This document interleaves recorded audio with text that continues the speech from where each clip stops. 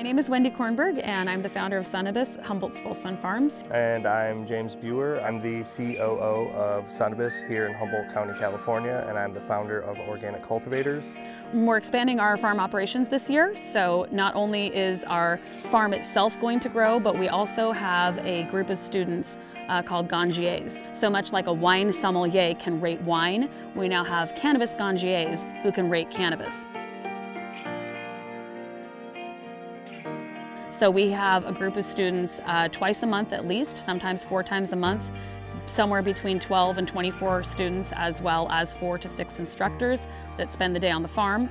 And previously we've had to bring in bottled water and, you know, cans of bubbly water and things like that. It's not exactly what we preach when we preach about regenerative agriculture and what we do on our farm. So uh, yeah, our irrigation we have a pond, which is like 1.3 million gallons, and we use an RPS pump for that.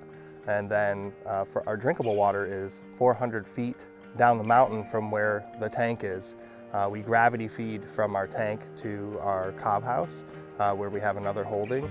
Uh, but it's 400 feet up the mountain and it's actually 2,000 feet away. So it's part of the reason why I fell in love with RPS was because the engineering side of it. You guys were super helpful. That was really easy to work with.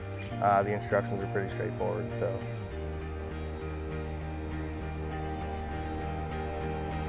So having this as a source of drinking water is going to be just the icing on the cake for, for these students and for us. If you're trying to get off of you know, normal power or gas generators, RPS is definitely the way to go.